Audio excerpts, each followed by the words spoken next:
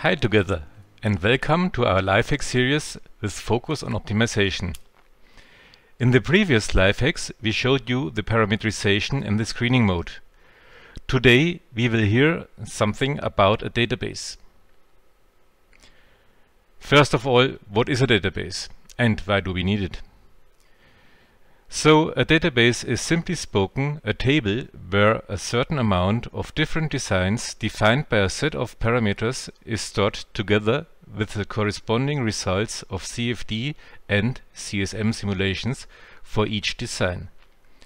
This means that for each design or sample a simulation have to be performed. This is often also called DOE or design of experiments. Why do we need it? During an optimization, a lot of designs, or better, thousands of designs must be considered. This would mean that we would have to perform for every design CFD and possibly also a CSM simulation. Here in this example, a genetic algorithm is used for the optimization. When we have 100 generations with 400 individuals for each generation, then we need the simulation results of 40,000 samples, and this for every design iteration. This is very time consuming in terms of computational time, from minutes to hours for each design and so on. It would need months or years for an optimization run. So, in order to perform an optimization in a reasonable time, we need to do it smarter. After the database generation, we have the results of each samples, the blue dots. We can use now, for example, an artificial neural network or a radial basis function network or other methods to create a surrogate model. Then we can use this model to predict the CFD and CSM results of all future designs, the red dots. Of course, we have to use the same set of parameters when we do this. You will get more information about the optimization process and the surrogate model in our next life hacks.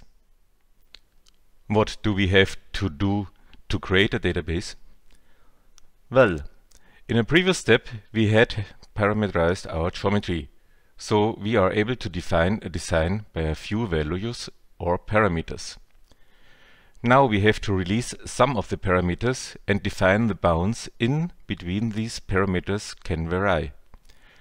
This is a quite important step, because if we set these bounds too close to each other, it can be that no better or only slightly better designs can be found later in the optimization.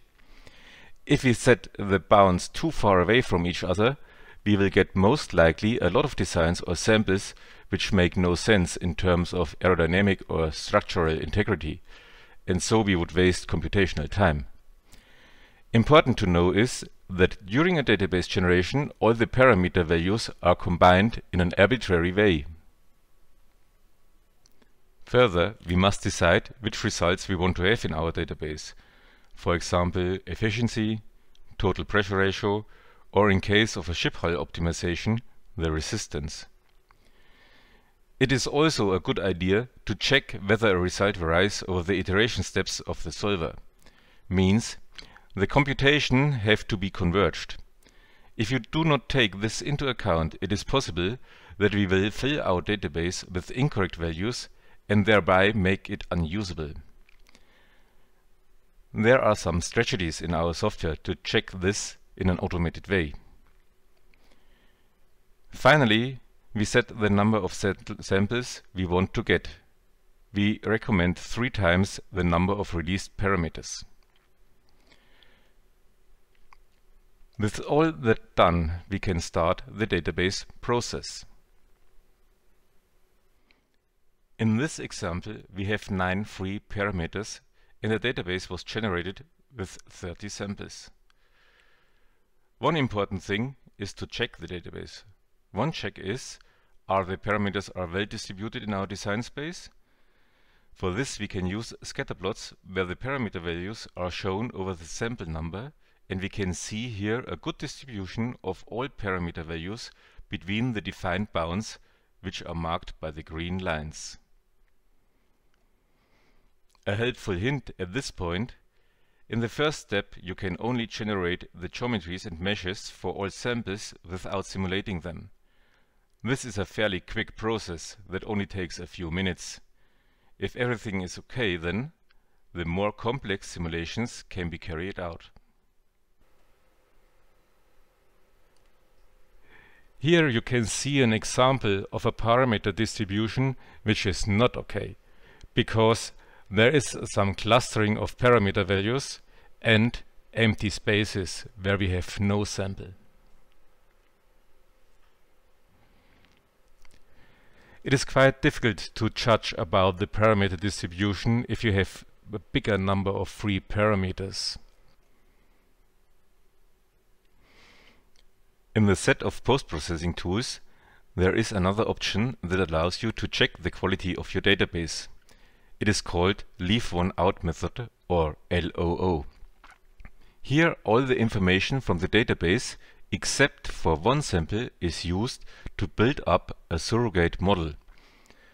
Then the prediction for the accepted sample is computed and the result is plotted over the accurate value from CFD or CSM.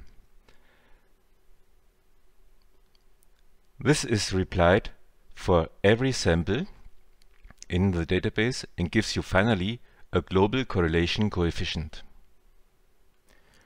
For a good database, all global correlations coefficients for all objectives or constraints you want to use in the optimization process should be higher than 0.65.